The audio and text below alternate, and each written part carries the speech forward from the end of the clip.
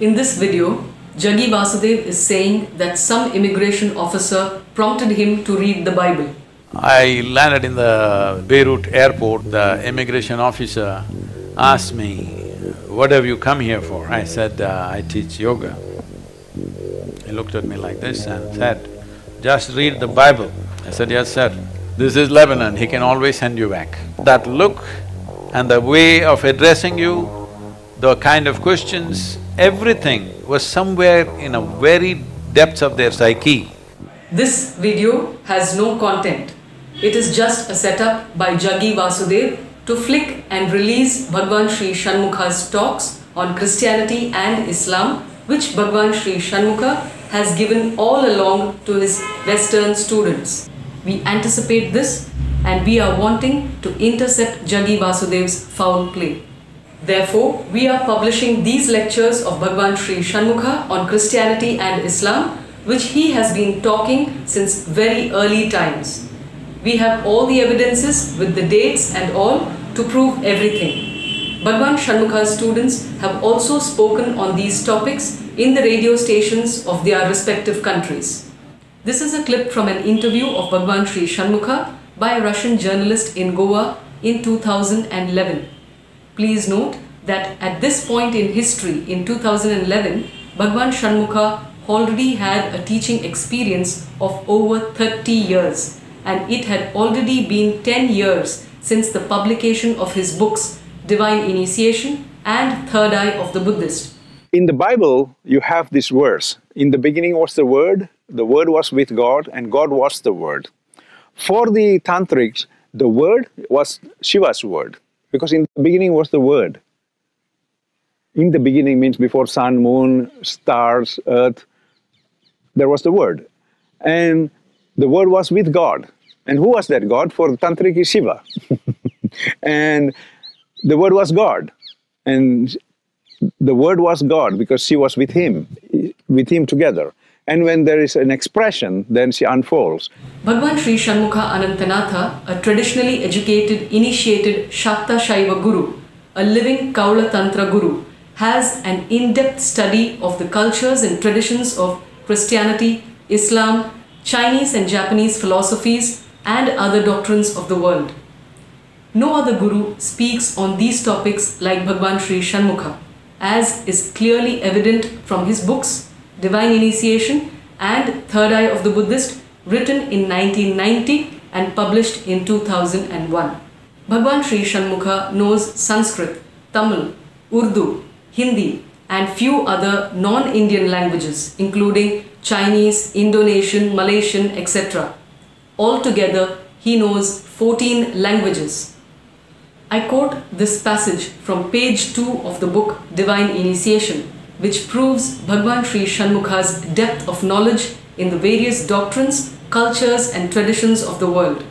The Veda is maintaining that its monistic science was perfectly understood and perfectly conveyed through a perfect language. In fact, the word for perfect is Sanskrit. Since there was a perfect language teaching a perfect science of monism, this was accepted by almost the whole ancient world. This synthesized perfected language is found as vestiges in almost every European language. Not only the language but also the doctrines are lingering on in the form of European mythologies. This is not only the case with the Europeans as the ancient philosophy of Iran or Persia originates from the Avesta, which is the Iranian recension of the Veda. Similarly, the Native Americans, Mexicans, Pacific Islanders, Aborigines, Maoris and others seemed to have embraced a specific version of this same science of monism. All this merely proves that the ancient world was a unified whole embracing a very sophisticated science of monism. This was beyond the kern of the people of the so-called modern world. Another reference point is on page number 13 from the chapter Indra. I quote, This concept of monism, where the divine is depicted struggling with the demonized serpent, is preserved by the entire universe of humankind. Indo Europeans, Indians, Chinese, South Americans, Egyptians, etc. Also, Bhagwan Sri Shanmukha explains the concepts of yin, yang, and Taoism throughout the book Divine Initiation. In his lectures to his students for over 40 years, Bhagwan Shanmukha has been sharing also deeper concepts in Sufism and also about the Sikh tradition, Guru Nanak, etc. Bhagwan Sri Shanmukha has been uniting the world through his teachings. The following video clips are from the satsangs with Bhagwan Shanmukha in Thailand and also from his lectures which he has been sharing for over 40 years.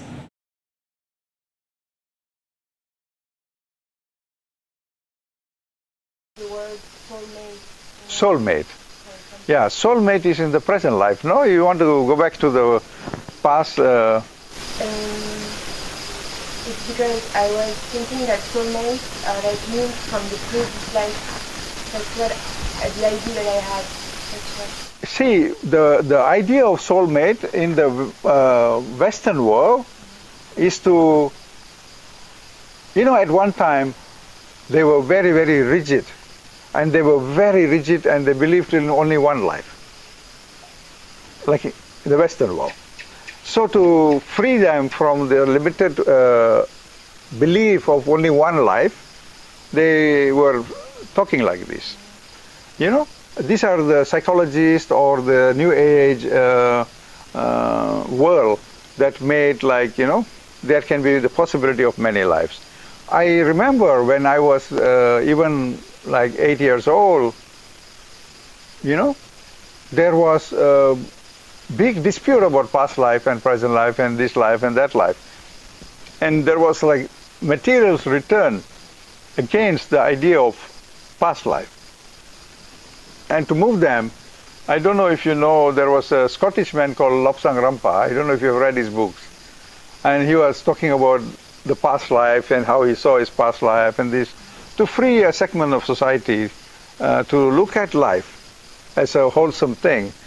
You know, what the Christian text is talking, they are not talking you cannot become born again. They are all waiting for Christ to come anyway.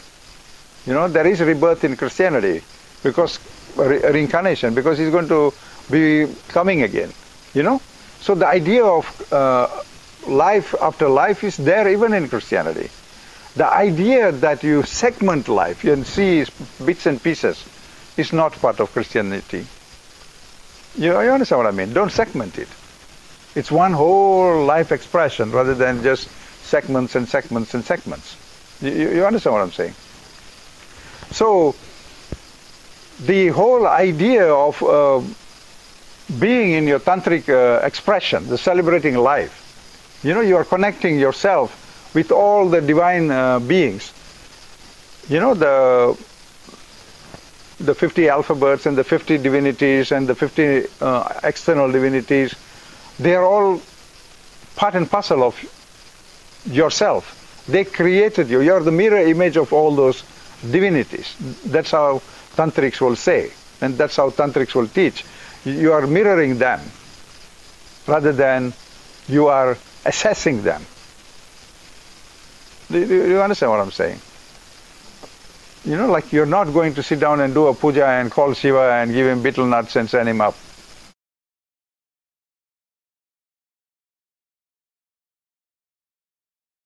The whole work of the tantric is to, you know, like you see, okay, there are seven chakras, and then you, it's not just seven chakras. Then you have nadis. Then you have your uh, whole body system, your organ system, your this, your that. When you are having the knowledge of all these, then you say you are a tantric. Let us say. hmm? So you are having skill, knowledge, to guide you all throughout life. That is the way of all the tantras. You know, when we are talking about uh, uh, Leonardo da Vinci, same thing. He's doing that there. You know, um, it's only lost now. It's in the Greek world. Hippocrates, Galen, all those guys are talking about chakras. You see? So the software that you are having has never been interfered. Only after your software has been interfered, you have right, bad. You know, I always joke and say, in right and uh, good and bad, there is a big problem of only I am right, you are wrong.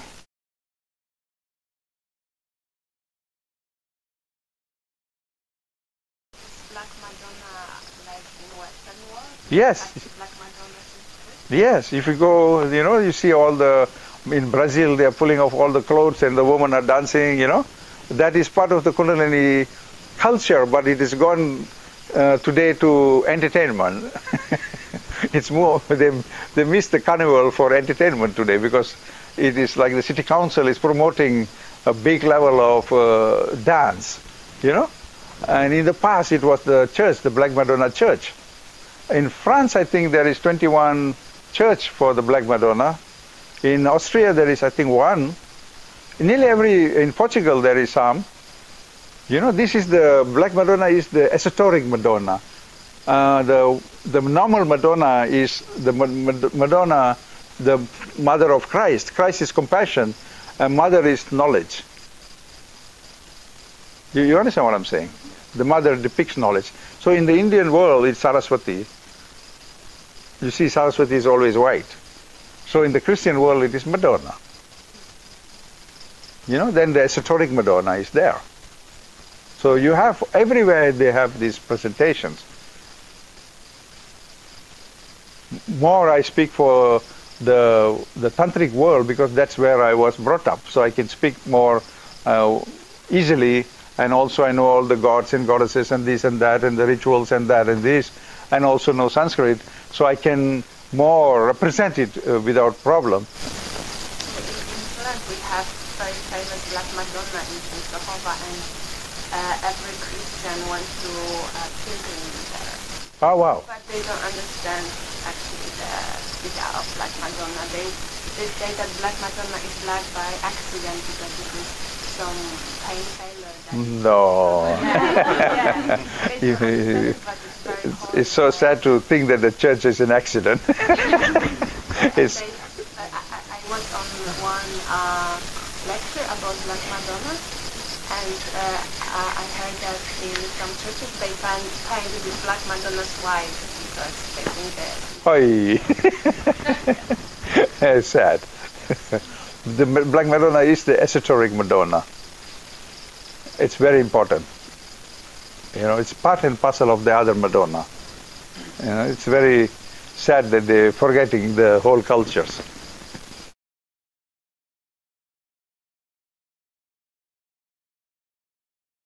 You see, when I speak about Tantra, please remember one thing for me.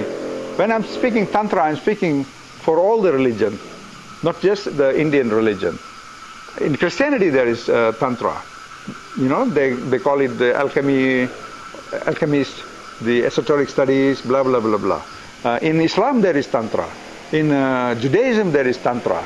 You know, the Kabbalah represents the Judaic uh, Tantra scheme. So I'm speaking for all of them. In Chinese philosophy, there is Tantra. In everywhere, there is Tantra. Tantra is the higher study of uh, the spiritual sciences of the past. You know, it's not something like what um, people think is only belonging to India. No, I'm not talking like that. I'm talking about the whole human civilization and Tantra. So when you are doing higher studies and you understand it and you live by it, you change first. When you change, you know what I'm trying to say? Not emotionally change, actually change. When you actually change, it's the most difficult uh, call in the world to actually change. Not easy to actually change.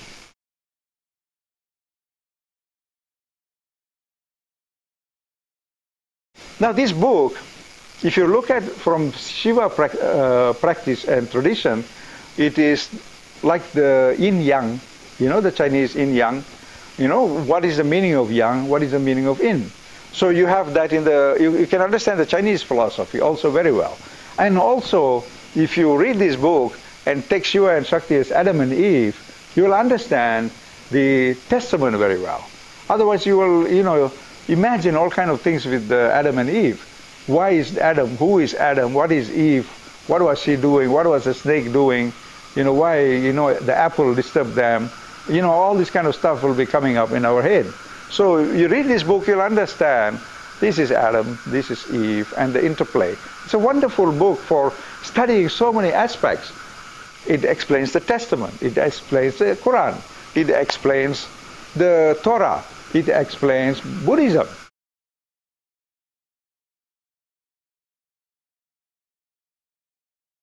Okay, let's stop there.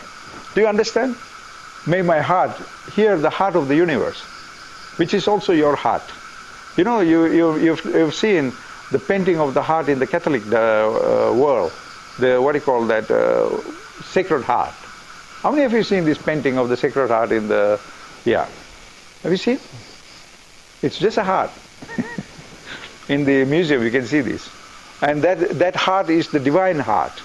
So here, the divine heart is also your heart. You know, like oxygen, you know? Oxygen is everywhere. So you, you live on oxygen, but you, uh, you cannot say it's my oxygen. It's everyone's oxygen, right? It's not my oxygen, your oxygen. It doesn't work like that. So the heart also means here the divine cosmic heart, and at the same time, it also means your heart. Students come from all over the world to not only study Tantra Yoga from Bhagwan Sri Shanmukha, but also their respective religious ideologies such as Christianity, Islam, Buddhism, and even Chinese and Japanese philosophies. All these are historically verifiable. The audio recordings and lecture notes of Bhagwan Shanmukha from pre-YouTube times proves this. These concepts of Islam and Christianity are also in Bhagwan Shanmukha's book Divine Agama and it is copyrighted. In the following video published on YouTube in 2013, you will see students of Bhagwan Sri Shanmukha talking on the esoteric topics of Islam, Christianity, Torah, etc., which they learned from him over many years. Please note that Bhagwan Sri Shanmukha has been sharing these teachings with his students for over 40 years, even before YouTube came into existence. Today, probably I am one of the few Kaula teachers in India itself, because in the Kaula system, you see a blend of tantric concepts and asanas. Entire uh, yoga science is a science that extends meditation to the body.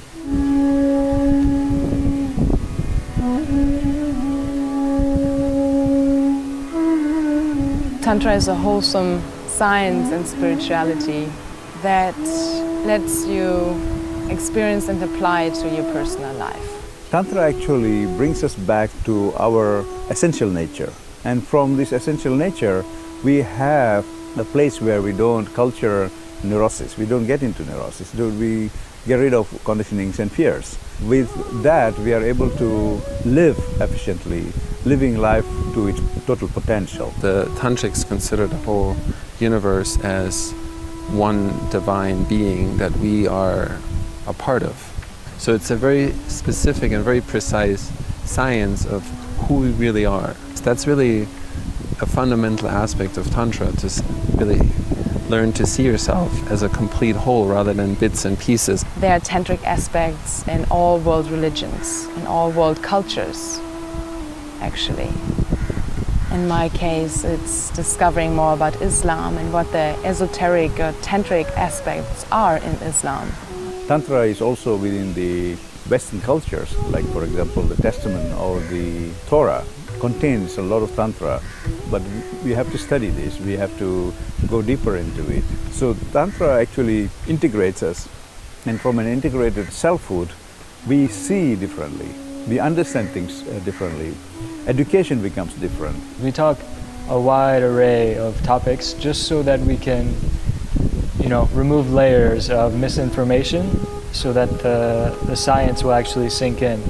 Bhagavan has, a, has an interesting um, style of teaching. To me, it's almost like an oral tradition that goes way back thousands and thousands of years, and it forces you to learn it a different way. You know, we don't have a whole bunch of textbooks that we can read and study and, and memorize, and in the end, probably not mean a whole lot to us. They teach you that experience is the best teacher. Bhagwan Sri Shanmukha has been uniting the world through his teachings while Jaggi Vasudev has been politicizing, dividing and exploiting. In this clip, you can see Jaggi is derogatorily calling the guest student as a Taliban. In this video, I will explain the whole context of the conversation between Sadhguru and the Muslim student. Since a lot of people are asking about the whole context of the conversation of Sadhguru calling the Muslim student a Talibani, let's dig deep and reveal the whole context. I don't fear anything. So I, it's my attitude to life. Anything, anyone who's ever achieved anything in life had a certain element of stupidity. This is the context of the conversation where Sadhguru called Bilal a Talibani. The night you're meant to spend in the grave, you won't be spending it outside anyways. This guy is a proper Talibani. This is the video, which is controversial in terms of how it is out of context. Right, anyways. This guy is a proper Talibani. what is that? Huh? What is it? Talibani? Talibani, Talibani. Oh, Taliban. Yeah, my name is Bilal bin Saqib. I don't know why. None of my other bro- brothers and sisters have been. Bin means the Arabic uh, word uh, Son of. Son of. Now here, he asks, what is the meaning of bin in Bilal bin Saqib? Which other students around them explain that it means son of. He does not know the meaning of common Arabic words. Therefore, his comment to Bilal about calling him a Taliban explains what he meant. Truly Islamophobic. When Jaggi does not know the meaning of even the very basic Arabic words like bin, there is no way in the world for Jaggi to know any teachings of Islam, Christianity, etc. In the following video, you can clearly see that Joe, as a Christian, feels marginalized by Jaggi Vasudev.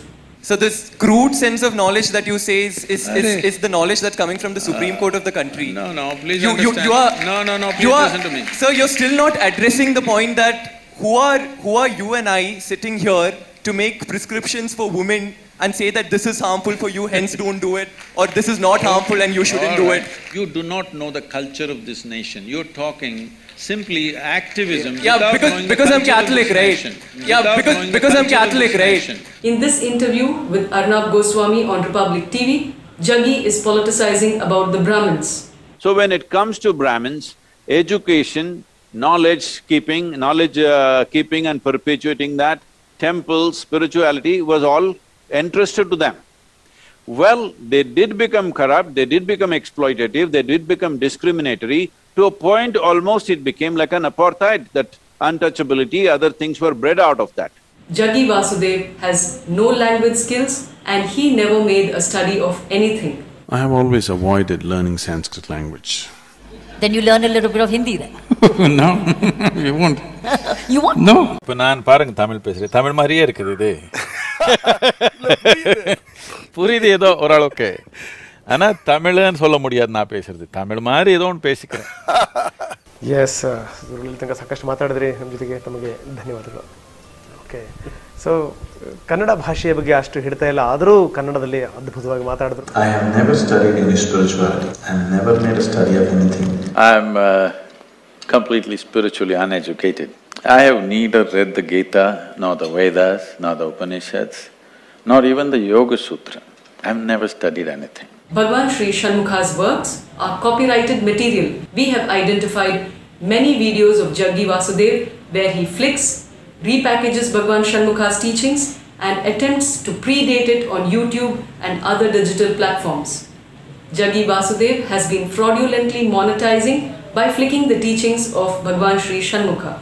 This fraudulence and charlatanry of Jaggi Vasudev has been going on for too long already and we are releasing Bhagwan Shanmukha's lectures so the public can be informed and aware of the truth. Please subscribe to receive updates and please share the truth. Thank you for watching.